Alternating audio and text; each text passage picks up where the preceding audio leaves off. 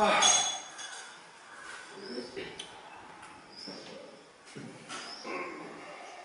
So I don't buy, if someone comes to me, I don't know, I don't buy it. I, I, I always put him on the pot and tell him, to come on.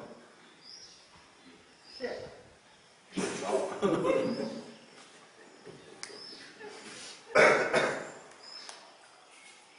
and I don't mind to be an absolute toilet, because whoever comes with all this shit, I just take it. I, I don't mind to be full of shit. Or being a fool of shit. Has no weight. Hmm? Has no weight. Shit doesn't weight. No, shit is wonderful because you don't mind when it goes.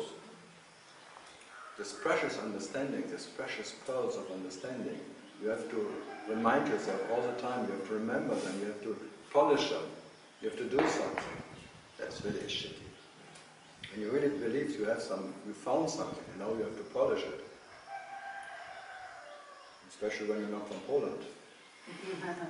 Because for Poland people, to be polished is natural, but Germans.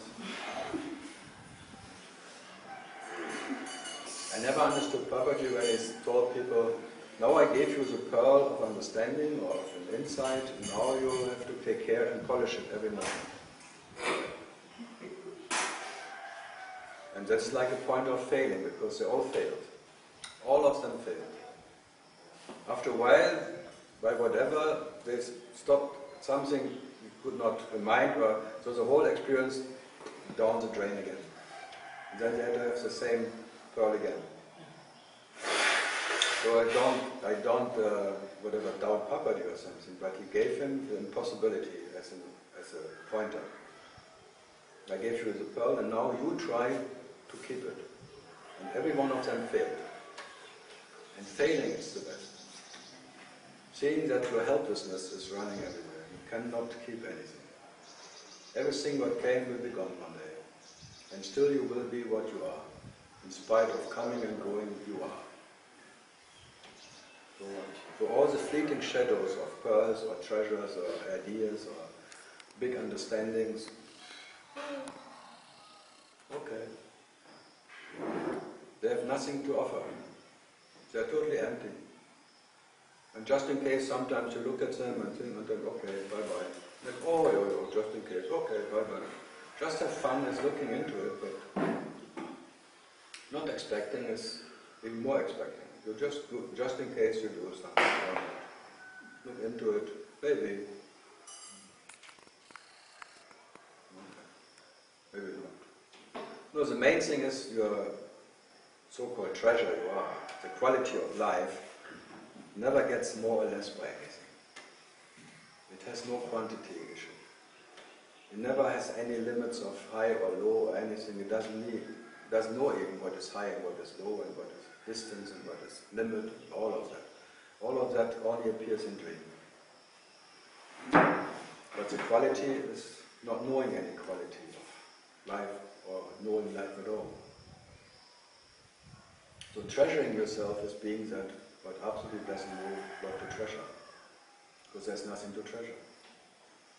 By being what is a treasure, you don't know any treasure. So there's nothing to treasure anymore. And you treasure yourself more by not knowing yourself. So by not knowing yourself, what you are and what you're not, this is treasuring absolutely what you are. By being the treasure who never needs to be treasured by anything or by anyone. So what there to then people ask me, why are you still sitting somewhere talking about what no one needs? I said, just in case. in the contract. just in case. Who knows? And talking to myself, it's, it's, I enjoy it. Talking eye to eye to what I am, there's no more joy in talking to yourself unexhaustible. It's never enough in life.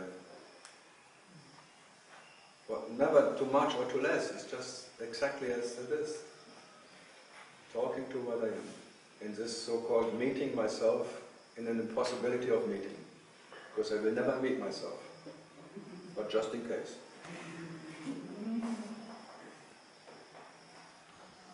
That's why I never understood satsang, meeting of truth, I have no idea.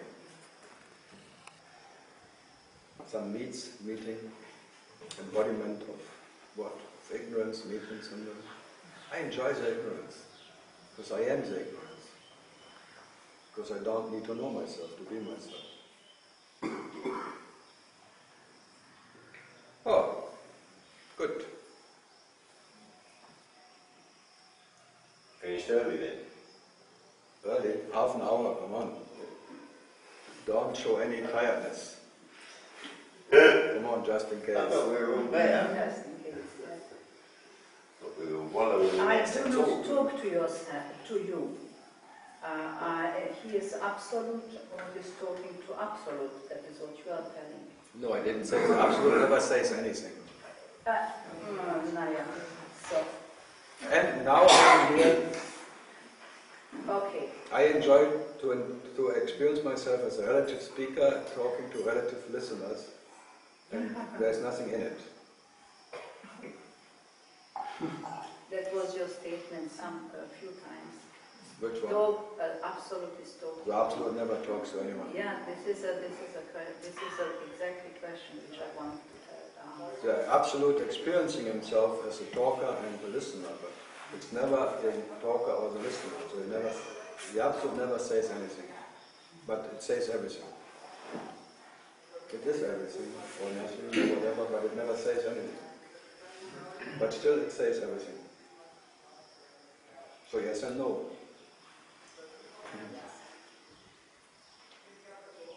Does silence speak? Uninterrupted.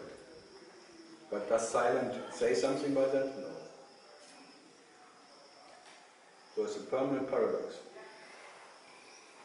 So that what is silence, realizing itself in all that what you can, but pronouncing itself in whatever can be pronounced, but itself stays at that what cannot but be pronounced itself. The absolute pronouncer which cannot not be found but is pronounced.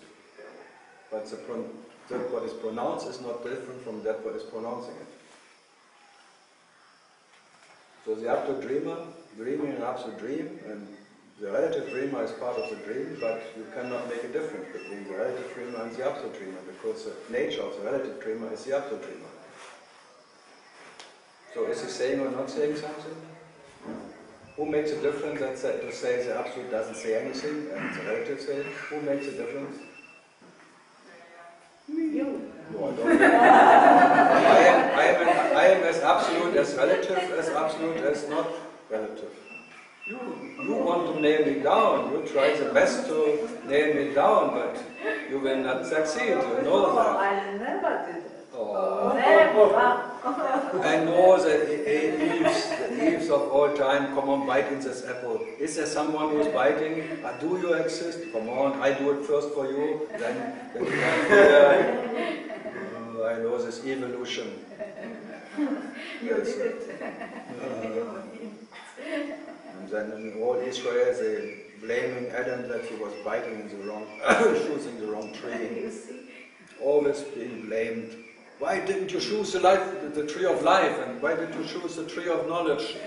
Now we all have to seek the bloody truth. Amazing, huh? All Israel is blaming, blaming Adam. He is so damned. Why? If he would have chosen the right tree.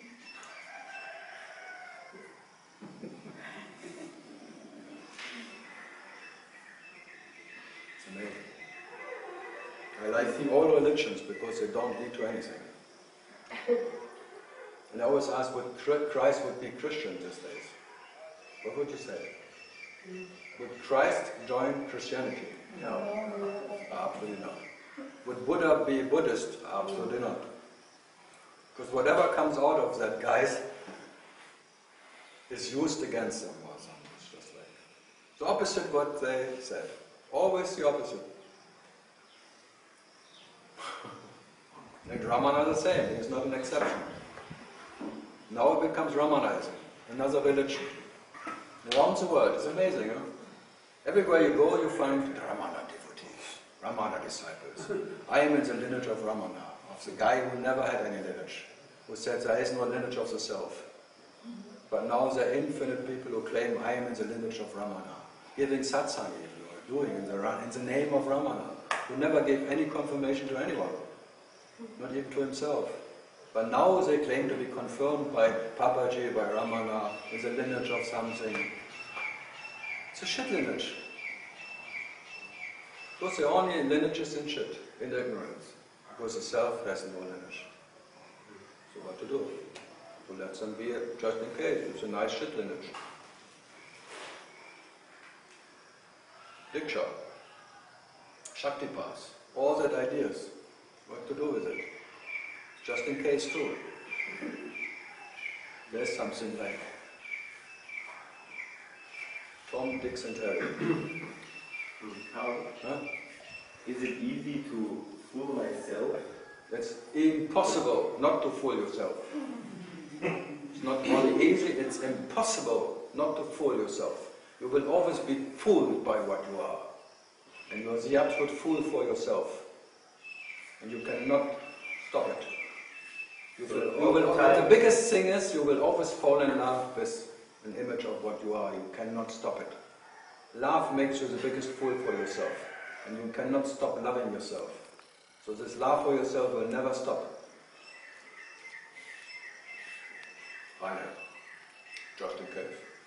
When I come to the stage, You come to the stage, when there is a why not, why not, why not, why not, it's all. it's not a stage, it's just Yeah, I don't know how to call it. When there is this why not, is it maybe a trick? That I trick myself? That I try to care again about a why not?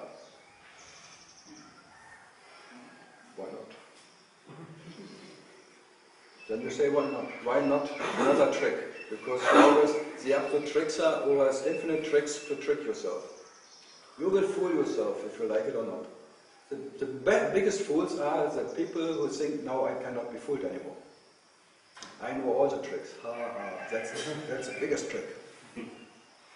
Now I know all the traps and I will not step in, into any trap anymore. That's the biggest trap. Not stepping into the next trap. That's the biggest trap. Because then you believe you made it. That trap is very big. So it's infinite fooling. Who, who cares about being fooled by oneself? You are the king and the fool. And you must be joking. Even by believing that you are the king, you must be joking. It's already an imaginary king of an imaginary kingdom. You must be joking. But you're fooled by your own idea that you can rule the kingdom of heart. Oh my goodness. King doomed, I would say. The moment you are the king, you are a doomed king. A king doomed by an idea that you can ever rule yourself. The kingdom of heart. You are hard, but you don't know what is and what is not hard. Heart doesn't know heart, and doesn't, heart doesn't have heart. And the king has a kingdom, and that is his biggest trap. Doomed by ownership. My heart, just in case I have one. So what's better, having or not having a heart? Both is false. But again, I rather have no heart. Not? Just in case I have no heart, then the, the no heart cannot be broken. It's a very famous technique around the world. After a while, after many times broken heart, say, better have no heart. Then you make, I'm a no me, I'm a no heart. Then I cannot be touched, I cannot be hurt anymore. Fantastic. But that's the biggest foolish thing.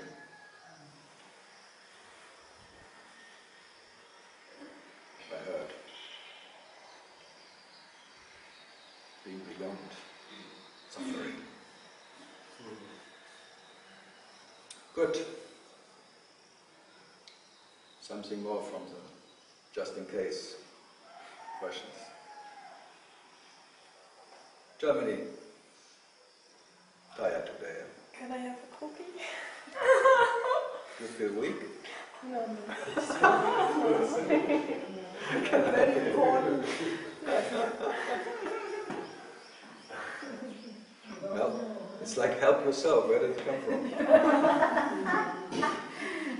Says, I sit here and tell you there's not even a help who can help you. So what to do? There's no help. Neither to for anything. So if there's someone again who wants to help you, you cry for help. Someone wants to help me, help, help. he cannot even help himself. He wants to help me. That's just like this satsang teachers. They want to help people. Oh, he cannot even help himself. What did he say? If there's someone left and the universe left you need to help, and for sure you are not. That what is reality. So if you're Eckhart Tolle and you want to make a new world, you need some help. Just in case. He he sees a world who needs to be changed and trans- transformed into a higher level of consciousness. Fantastic. huh? I'm always impressed that the biggest teachers of our times are still in this fascistic way. Little Nazis, little Hitlers who want to change the world. Wow. But if I say it, then I can say as a German, I know Nazis. and he is German too, so I know my, I know what is there. Even if he is uh, sitting with a maximum pigmented lady.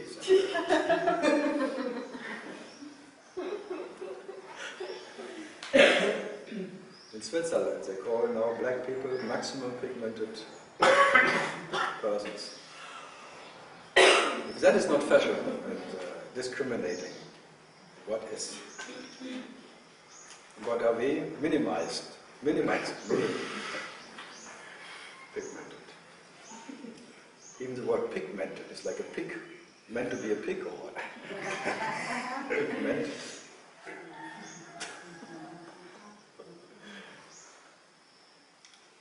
So, something from. You're from Aham? Sorry, Jane. I saw. And it's still good running. Pardon? It's a ashram, well, whatever. Fun, Just in case. just in case. no, I like that. It's like the Ramana ashram, it's just in case. Just in case. All just in case. Only. Because you are so nuts for yourself, you're a nutcase anyway, and then just in case you make Place to, yeah, that case, yes. Yeah, you are a nutcase. Chair, that case. A nutcases meeting. Cracking, cracking nuts who need, never needed to be cracked. Making a nutcracker. Cracks. But no, no question. Well, what I say is okay or oh. no? Or just in case? I hope I contradicted myself enough. Not I really. heard you were really, really, really tough. Tough. I'm not You're tough. not. They all, they all, they all complain now. they all complain now. Karl was once he was tough. Now he become like. It's really disappointing. I know. I know. I'm too lazy not to be tough. I became too lazy to be tough. Dragon of the gate.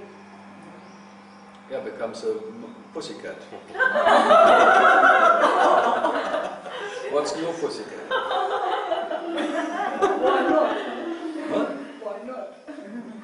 No, uh, no. Someone asked me yeah, so uh, last year I had the same question, like, why are you so? It seems to be much softer than before. Said, now the, the sword maybe is sharper. I don't need to hit like a hammer. I, cut, I, cut, I cut from within. I don't have to open the egg from outside. I just cut the chicken inside before it's even born. No, if you ask me, it's more like I, when I talk directly, I talk, I don't have to crack anything. But I think 15 years ago, sitting on rooftops here, I was still a sledgehammer, kind of, from outside, trying to crack and destroying something. And now I'm even destroying the destroying. So I'm more like the softness who is killing everything by just being soft. It's more dangerous. I, it's absolutely more dangerous than that's Like quicksand. Yeah, it's like a quicksand. You can, as more as you try to get out of it, you sink into it. Like yeah, like like the Buddha likes a, the, the what's called out of the mud, like where, where you sink into the Everglades. That's why they call Everglade. And it's called Florida. You- You step in and then you sink, and whatever you sink, The Everglade. more you fight it, The more you fight, you sink into the what is Everglade, what is glad forever. And without you. Some try to go to the Mount Everest, like uh, going to the Himalaya, where the liars meet, and, and sitting in front of the cave and lying to himself to be alone is better than being in the world. That's why it's called Himalaya. I don't quite understand when you said uh, kill it. Okay, what? Kill it, or the chicken and the egg, or but doing Yeah, you kill the, you, you, like, it's like Kill killing, the idea that you can die.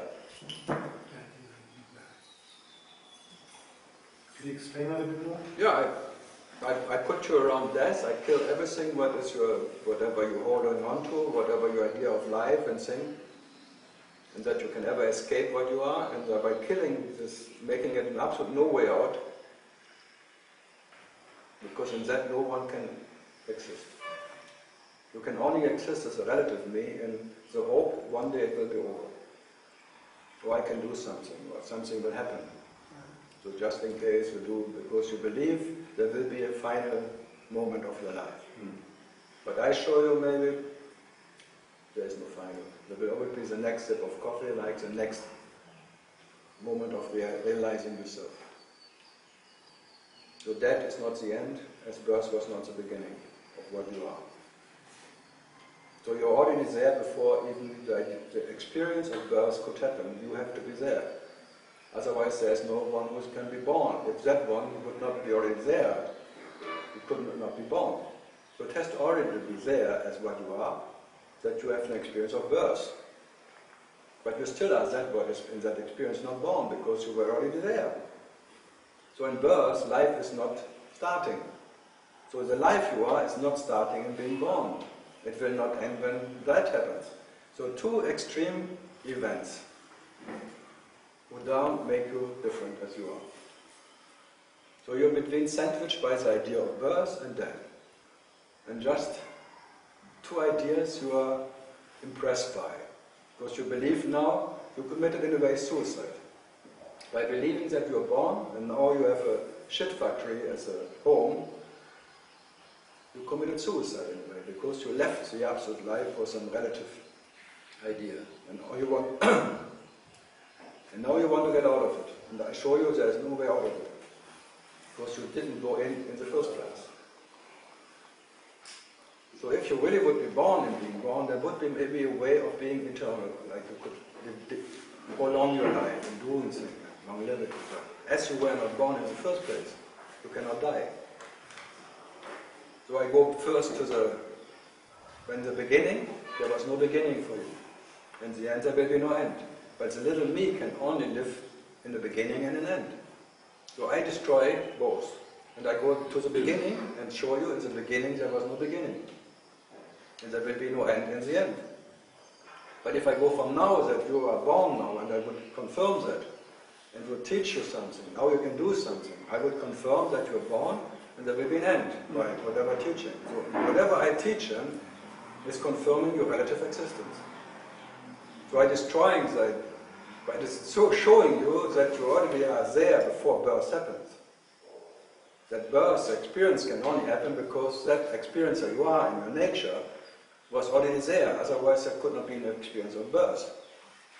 And you will be there even after, after the experience of death. And as you are now there, uninterrupted. That's all. So and that can never get more or less, because you, as you didn't get more by being born, you will not be less by the experience of death, and this goes again. So this shit factory happened, and it will be gone. Sooner or later, but who cares when? Because when this is gone, something else will happen. Whatever it will be. But it's still, like now, you are unaffected by this so-called presence, you will be not affected by the next presence. The presence will always be the presence. And in spite of the presence or absence, you are. So you are that what is Shiva in this trinity of experiencing yourself in presence and in absence. So two faces of Shiva, the known and the unknown. But Shiva himself is never known or unknown. It's the absolute knower who knows himself in known and in knows himself in not knowing. So it's that absolute existence is, which is in knowing and in not knowing, in presence and in absence what it is. That's the only way out of the idea that there is a way out. so it's a permanent paradox. The problem is that there was never any problem for what you are. That's the biggest problem. You cannot find any problem for what you are. But you make something up. You imagine one. And I always tell this so little whatever mind, don't don't worry. There's problem. That there was never any problem. There's always be there. So don't worry. Or worry and be happy. Whatever. Because there's nothing to fear because no one wants you to go. Because you're not even there now. So what is there to do?